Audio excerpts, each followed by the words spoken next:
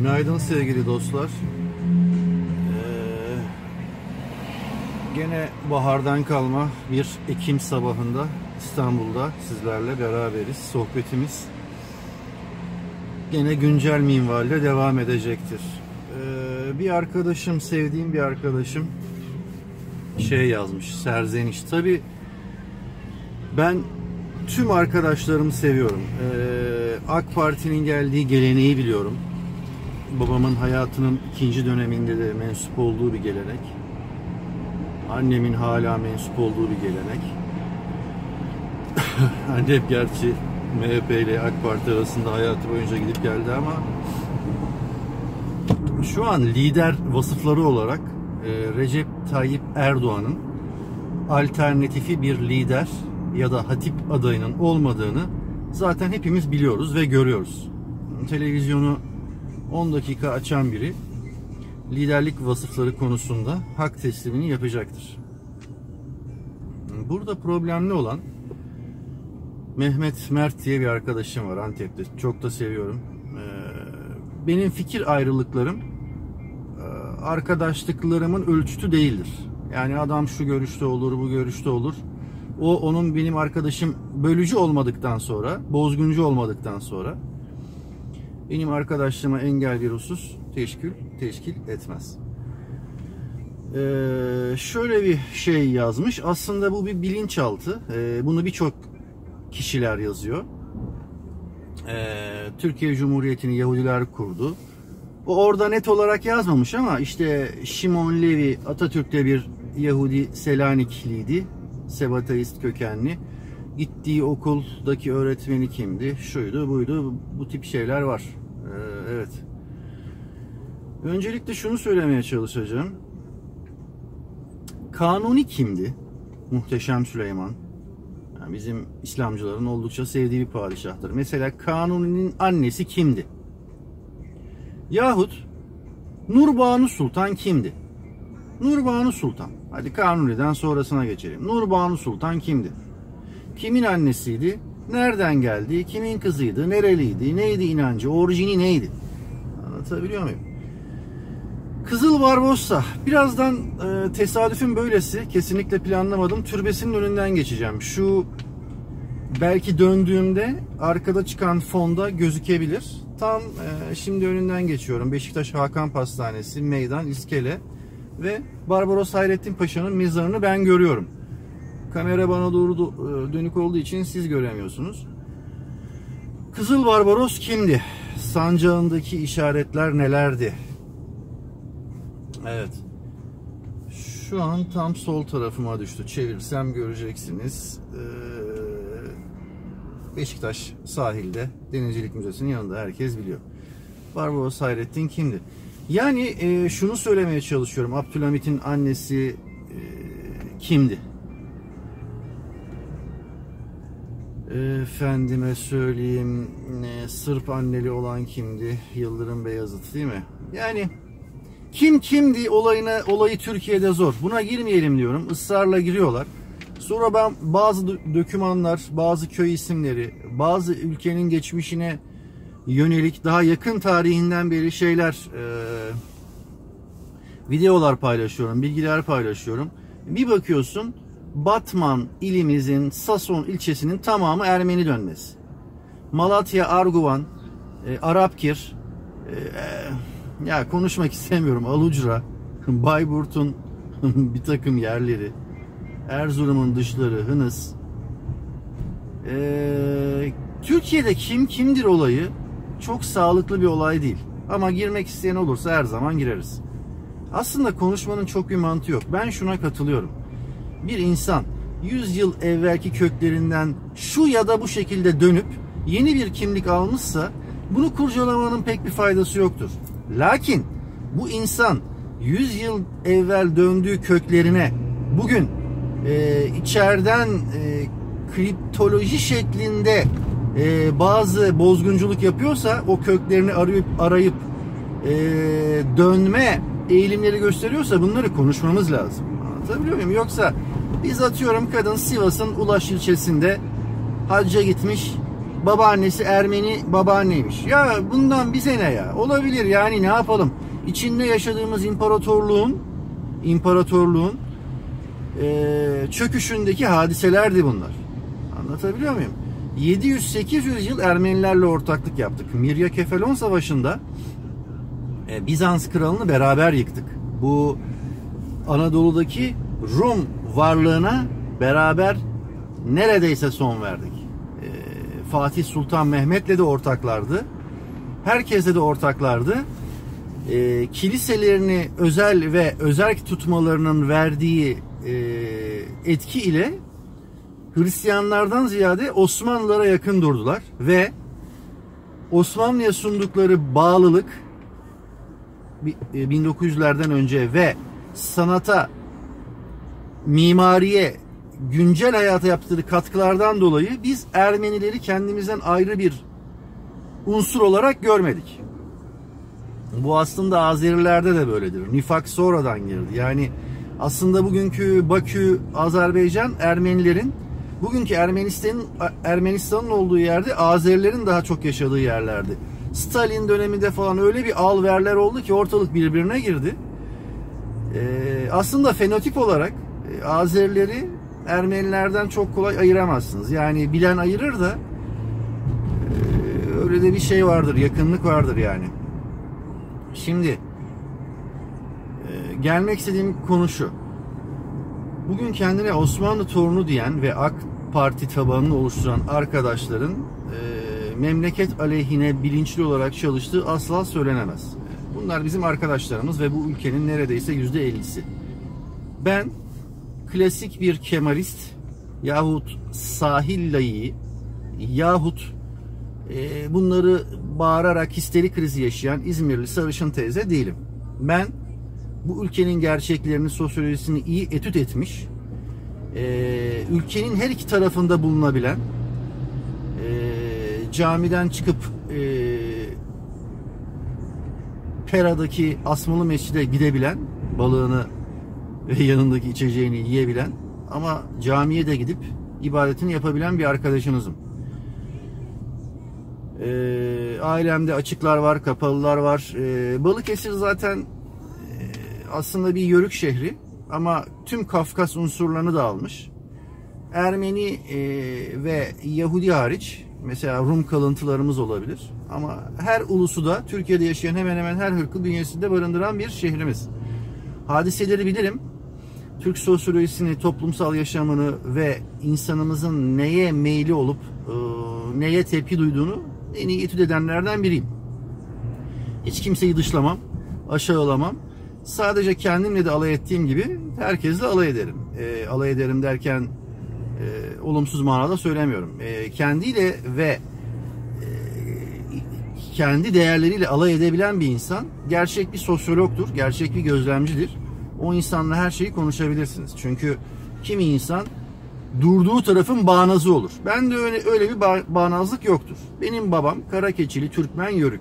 Ben Osmanlı'yı da Türkiye'yi de kuran ana unsurum. Ana unsurum. Dolayısıyla benim konuşma hakkım vardır bu konularda. Ben konuşur, konuşabilirim kardeşim. Benim mesela köyümün adı hiçbir zaman Ermeni isimden dönen bir köy olmadı. Yörük köyü e, zaman içinde e, Osmanlı 77 78 Rus Harbi'nde bir tek Gürcüleri almışız. O da köyün alt mahallesine. Onları sahiplenmişiz, gelmeyin dememişiz. Müslümanlık, Müs Acara, Acara oldukları için. Benim köyümün adı belli, yeri belli Susurluk'ta. E, zaten dağda tepede. Ben yürüyüm. Geldiğimiz yer, gittiğimiz yer belli. Kim olduğumuz da belli. Çok merak eden de Susurluğun Yüksek Kel Tepesi'ne çıkar. Oradaki köylere bakar. Burada kimler yaşıyor? Bunlar kimdir diye sorabilir. Herhangi bir mani yoktur. Dolayısıyla e, şunu da söyleyebilirim. Osmanlı şu konuda da çok haksız değildi. Bugün hala bölgeme gittiğimde Çanakkale, Balıkesir, Küçükkuyu, e, Altınoluk yaylalarına, dağlarına çıktığında Türklerin, e, Yörüklerin izole bir hayat sürmeyi tercih ettiğini, hala keçi, gözleme lor peyniri ekseninde bir hayat, e, izole bir hayat sürdüğünü, herhangi bir şeye de çok talip olmadıklarını, bu Antalya tarafı da böyle, Toros tepeleri. Herhangi bir şeye de çok talip olmadıkları net olarak görülebilir. Yani Osmanlı e, sürekli yenilenen e, ve kendini güncelleyen bir imparatorluktu. Buradaki Rum ve Ermeni azınlığın, tebaanın ve Yahudi tebaanın e, aktif ve dünya Roma kültüründen gelen sanata mimariye düşkünlüğünü sahiplenip güncellemesini Osmanlı'nın içselleştirmesi eleştirilemez. Yani Osmanlı yörükleri bekleyemezdi. Yörüklerin Roma İmparatorluğu hayatına bu dönenceye, bu döngüye girmesini Osmanlı'nın bekleyecek vakti yoktu. Tıpkı Atatürk'ün bir an evvel laik ve ulus devleti yayabilmek ve geliştirebilmek için zamanı olmadığı gibi. Bugün Atatürk'ün bir telefonla Artvin'deki valiye ulaşma şansı yoktu.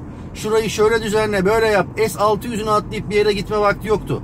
At sırtında Menemen'i ıslah etme vakti yoktu. Atatürk şunu yaptı. Bazen diyorlar ki baskı rejimi. Evet 1900'lerin başında e, bunalan bir lider olaylara hakim olamayınca burayı dümdüz edin diyebildi. Çünkü vakti yoktu. Zaten adam kendi gidişatını da görüyordu. Alkol sorununu da görüyordu. E, o çok vakti olmadığını da biliyordu. Halkın e, çok fazla bu işe iştahlı olmadığını da görebiliyordu. Atatürk'ün vakti yoktu. Islahatlar için Atatürk bunları bir bazen baskı unsuruyla tamamlamaya çalıştığı iddia edilebilir ve bu bir gerçektir. Atatürk zamanında elit bir sınıfın oluştuğu gerçektir. Bu hiçbir zaman değişmez. AK Parti zamanında da görüyorsunuz müteahhit elit sınıfını, ihaleci sınıfının nasıl birdenbire oluştuğunu. Anlatabiliyor muyum? 15 Temmuz'a ilk dışarı çıkanların arabaları Şahin Renault'du. Sonraki arabalar BMW Mercedes'e döndü. Para hep sonradan gelir. Para gücün ve istikrarın peşinden gelir. Burada Atatürk suçlanacak. Atatürk yapılması gerekeni yaptı. Atatürk yapılması gerekeni yapmasa idi yaptıkları normal olmasaydı bugün bugünkü İslamcılardan daha İslamcı paşalar vardı. Hilafetçi paşalar bunlar ya. Fevzi Çakmak, Kazım Karabekir bunlar İslamcı paşalar. Bu İslamcı paşalar ne olduklarını bildikleri Atatürk'ün laik ve cumhuriyetçi olduğunu hiç saklamayan 1912'den beri silah arkadaşı bunlar. Bunun peşinden gittiler. Bir kere bile paşaya aykırı yani aykırı fikirlerini çok dinledi paşa. Ama e, ayrılık ve bozgunculuk yapmadılar. İslamcı paşalar laik paşanın ardında onu desteklediler. Nereden anlıyorum biliyor musunuz? Fevzi Çakmak e, çok özür dilerim lakabı Öküz Paşa'dır. E, kafası büyük bir paşa. Fakat Padişah Vahdettin'e en yakın paşadır. Atatürk yaver olmasına rağmen Fevzi Paşa kadar e, yakın değildi bir dönem. Şöyle ki e, rütbeleri de yüksektir Kazım Paşa'nın ve Maraşal Fevzi Paşa'nın Atatürk'ten. Enver Paşa'nın. Ee, Samsun'a çıkış kararı alındığında e, Vahdettin ve Fevzi Çakmak Paşa bunu değerlendirirken önlerinde 35 kişilik bir liste var. Yani burası direkt Atatürk gitsin diye bir olay yok. Şu olur bu olur üzerinde konuşuyorlar falan. Ee, Vahdettin 6. Mehmet Atatürk'e göndermeye karar veriyor. Burası çok ilginçtir. O, o da ona güveniyor. Yani insani ve teşkilatçı özelliklerine Atatürk'ün üstün olduğunu nereden anlıyoruz? 6. Mehmet Sultan Vahidüddin de güveniyor. Diyor ki Samsun'a Kemal Paşa'yı, Mustafa Paşa, Mustafa Kemal Paşa'yı yollayalım diyor. Fevzi Paşa ne diyor biliyor musunuz? Sultanım, kendisinin görüşleri malumunuzdur. Kendisi cumhuriyetçidir, laik ve dine mesafelidir diyeyim. Dine mesafelidir sözünü orijinali tam çözemedim. Bu manada bir şey söylüyor. Kendisinin laik ve cumhuriyetçi görüşleri vardır diyor. Buna rağmen Vahdettin Atatürk'ü yolluyor. Daha sonra bu uyarıyı yapan Fevzi Çakmak ise büyük taarruzda alanı süpüren adam. Yani Atatürk'ün liderliğini perçinleyen adam. Kazım Karabekir, İslamcı Paşa Doğu cephesini ıslah eden adam. Bunlar Atatürk'ün liderliği için perçinleyen, ona destek olan adamlar, paşalar. Şimdi sen bu paşaya Mehmet kardeşim Atatürk Yahudiydi önermesi yaparsan aklı çalışan birileri kimler İslam tarihinde kimler Yahudi değildi ki? Ben Atatürk Yahudiydi falan demiyorum. Bana göre değildi. Ee, kimler Yahudi değildi diye bir konu başlığı açar. İslam tarihinde bak Türk tarihinde geçiyorum tamam mı?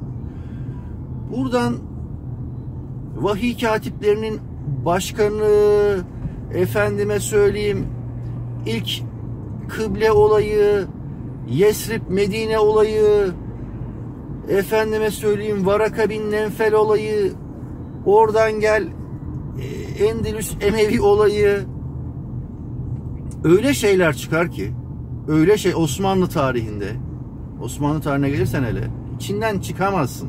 Yani bu o oydu bu buydu ee, tekfirinde Osmanlı'nın içinden çıkamazsın. Tamam mı? Bizim şunu yapmamız lazım. Toparlayayım. Konu dağınık. Konu müthiş dağınık. Çünkü imparatorluk müthiş dağınık. İmparatorluk 16. yüzyılda pik yapmış, tavan yapmış. Ondan sonraki 300 senede taban yapmış. En aşağıda sürünmüş. O yüzden karışmış ve ana unsurunu kaybetmiş ne idüğü belirsiz bir imparatorluk olmuş yıkıldığında. Dolayısıyla Fransızlar kendilerini mahkemelerini kurmuş Pera'da Osmanlı adaletinde Fransız vatandaşını yargılayamıyorsun. Böyle imparatorluk mu olur? Sen oyuncak olmuşsun. Sen rezil, rüsva olmuşsun. Anlatabiliyor muyum? O yüzden kimse Osmanlı falan demesin. Zaten bu imparatorluk göçmüş, çökmüş. Atatürk'ün bir dahli yok. Atatürk'ün sahneye çıkışında Osmanlı diye bir unsur yok zaten. Ya İngiltere'ye bağlı tercih yapan İngiltere ya İngiltere'ye bağlı bir halife orada oturacaktı ve kukla bugünkü Arabistan kralı nasıl kukla? Öyle bir şeyle gidecektin tamam mı? Sarık cübbe gene hiçbir şey sana vermeyecekti Te- e, teknoloji ithaliyle. Sen de petrol yok fakirlikten çürüyecektin tamam mı? Ermeniler falan zenginleşmiş yani Müslüman ahali gene kahır çekecekti dolayısıyla e, kimse tarihi çok iyi etüt etmeden ve tarihe anekdotlar düşmeden, çıkarımlar yapmadan e, bir takım şeyler bu Yahudiydi, şu şöyleydi falan bunlar boş işler. Bunlara çok girmemek lazım. Bizim neyi, neyi nasıl çıkacağımızı bilmemiz lazım. Bak Başika'ya asker koydum diyorsun. Başika Telafer'e 35 kilometre mesafede. Yani Telaferi DH işgal ediyor. Ben diyorsun ki kamuoyuna DH'a karşı Başika'da şey eğittim ve telaferi gidip peşmerge kurtarıyor. Biliyor musun? Yani sen o askeri oradan 35 kilometre öteye gönderemeyecek bir kapasitedesin. Bugün e, Iraklı Şii Türkmenleri İran silahlandırıyor ve bir gözleri İran'da sana dahi güvenmiyorlar. Çünkü yok böyle bir şeyin yok. Şimdi bizim bu yeni Osmanlı torunları şunu sanıyor. Bilinçaltlarında şu var. Benim atalarım evet bir dönem yönetmiş, bu bölgeyi yönetmiş ama Abdülhamit'in bölgede bir karşılığı var. Selçuklu bakiyesi Türkmenlerde bir karşılığı var. Abdülhamit'in bir ağırlığı var. Soydan, soptan, hilafetten bir ağırlığı var. Sen ee, Elçi Bey önemli bir örnektir. Herkesin hafızasındadır. Daha öncekilere söylüyorum. Elçi Bey'i biz kahrından öldüren bir ülkeyiz tamam mı? Yardım anlamında, Türklük anlamında. Bizim ne yapacağımız, nereye kadar gidebileceğimize kimse güvenmediği için ee, bu unsurların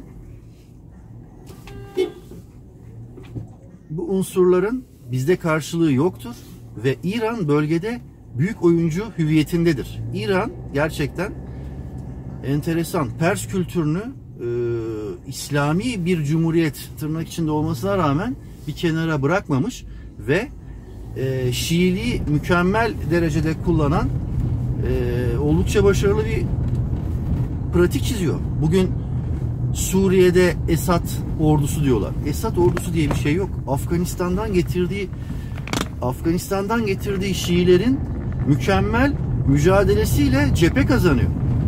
Yani İranlı milislerle, Afgan Şiilerle hatta Pakistanlı Şiilerle Esad ayakta duruyor. Yoksa Esad'ın ne ordusu olacak? Esad'a kim güvenecek ya? Esad kim? Londralı bir göz hekimi. Ama Şiilik diyor ki bölgeyi savun. Şii kodlarında geçmişteki hatalardan kaynaklanan büyük bir pişmanlık ve bunun verdiği savaşım var. Bunu çok iyi değerlendiriyorlar. Sevgili dostlar böyle konu konuyu açıyor. Bizde muhabbet çok. Tekrar bu konuları konuşuruz. Yapmamız gereken şu. Birlik ve beraberliğimize önem vermeliyiz. Çünkü eğer birlik ve beraberliğimize önem vermezsek çok yakında AK Partili ya da laik diye tartışacak bir ülkemiz olmayacak. Kendinize çok iyi bakın. Selamlar, sevgiler.